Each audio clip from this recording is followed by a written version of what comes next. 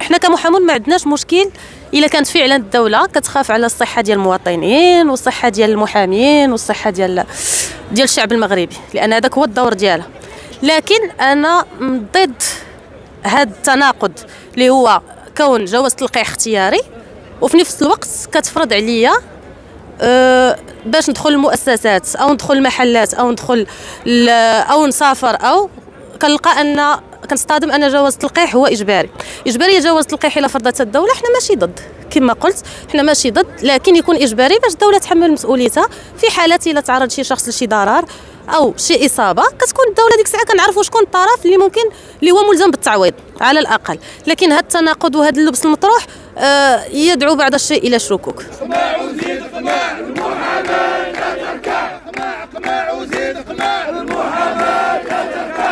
ولكن ضد أي وصايه على المحامي لأن المحامي هو الدفاع. الدفاع هو مرتكز من مرتكزات العدالة. المحاكمة العادلة لا يمكن أن تتحقق إلا إذا كان هناك أمن قضائي. الآن تتمس الأمن القضائي وهو لصيق بالأمن ديال المواطن.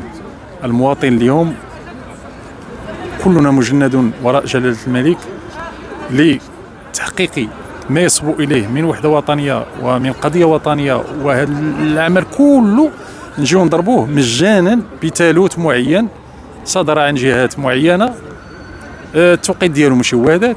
ما مأسسش شرعا وقانونا ودستورا فما كنفهمش الجهود اللي كتبذلها اللي كيبذلها سيدنا واللي كان يبذلوها آه، الدفاع واللي كيبذلوها المواطنين تمشي السودان لا لشيء إلا لأننا خصنا نفرضوا شي حاجة اللي هي ما مفروضاش ما خصهاش تكون. لما كتقيد المحامي أو كتلزمو وهو ماشي تحت الوصاية ديالك باش يقول الموكلين ديالو يجيبوا ولا الشهود ديالو يجيبوا ورقة هذا ما غنقولش خرق. هذا تهور وعدم تقدير العواقب ديال هذاك الإجراءات اللي كدار. على اليوم ضاعت ضاعت الأمة القضائية وأنا غنقولها ضاعت في واحد النهار. في الوقت اللي حنا كنجريو ونسابقوا آه، الزمن باش نكونوا في مستوى الأحداث الاجتماعية والاقتصادية والوطنية ككل كنجيو كنلقى واحد المرفق اللي هو حيوي اللي كيمس المواطن في عمق اللي كيمس حقوق المواطن في عمق المساعدين القضاء اليوم. ما يمكن لهمش يستمروا في هذا الوضع هذا لأنه آه، للوقفة ما بعدها وللتصرفات إذا دوزناها ما بعدها. فكنقول لهاد الناس يتريتوا ويجلسوا مع الناس ديالنا ويحاولوا يلقاو حل اللي, اللي ما يضرش بالقضية الوطنية اللي ما يضرش بالوطن ما يضرش بالامن القضائي بالأمن بحال في المحكمة المدنية. سدوا كل شيء وخلاو لنا واحد المدخل. ما نبغيش ما نبغيش ننزل بالمحكمة ونشبهها بشي بلاصة أخرى اللي فيها باب وكتهود مع الدروج. الباب ديال ديال العداله كيبقى مفتوح في وجه الجميع.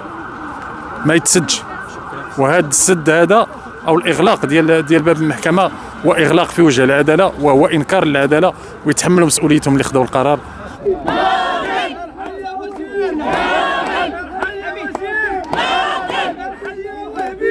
هذه الوقفة الاحتجاجية اللي قمنا بها اليوم في جميع المحاكم ديال الدار البيضاء هي رد فعل جد طبيعي من المحامون ديال الدار البيضاء على القرار اللي كنعتبروه أنه آه، قرار غير قانوني آه، اللي قامت به وزارة العدل وأن هذا القرار هو كيمس بحقوق المواطنين اولا ثم حقوق المحامون والمرتفقين أو مساعدين القضاء. فيه ضياع الحقوق للمواطنين آه، قمنا كيف ما قلت بهذه الوقفات آه، يعني رفضا منا لهذا القرار الثلاثي اللي فيه آه، مس بالقانون ومس بالمقتضيات اللي جا بها الدستور ديال 2011 إحنا آه، عازمين على أننا نبقاو ثابتين على هذا الموقف ديالنا آه، دفاعا على حقوق الموكلين ديالنا اللي وضعوا فينا الثقة باش ندافعوا على الحقوق ديالهم.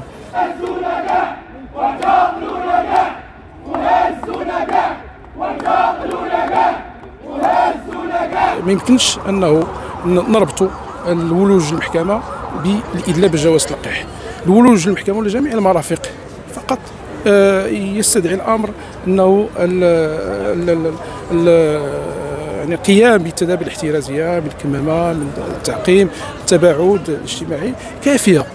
آه، عوض أنه أن نفرض آه، جواز أجل الولوج كان فرض جواز نعم. كغيره من باقي التدابير. آه إلى جينا نهضروا من الناحيه القانونيه ونكونوا قانونيين هو انه لحد الآن آه المغرب والمشرع المغربي ما صدرش حتى شي قانون آه كيقول لك بأن آه إجباري التلقيح اللي كاين الآن كاين كاين قانون الحالة الطوارئ.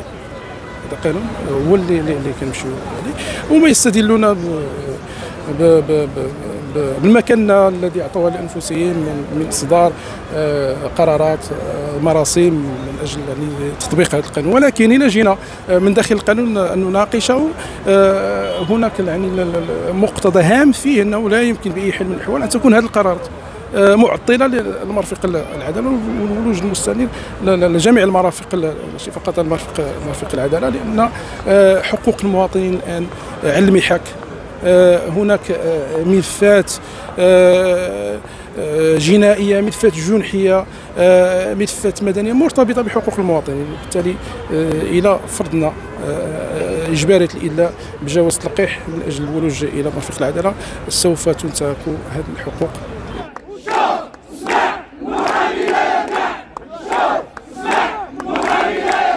المحامون بطبيعة الحال انتفضوا من أجل آه، ضد هذه المذكرة.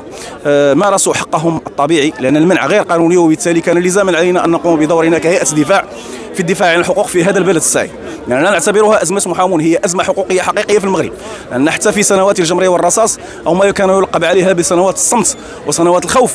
لم لم لم يتجرأ أي مسؤول من المسؤولين على منع المحامين من ولوج رذاذات المحاكم. هذا في السنوات الأخيرة هناك انتكاسات حقوقية آه، كبيرة. هناك انتكاسات قانونية كبيرة آه، جاء الختام بهذه المذكرة المشؤومة كما حقوقي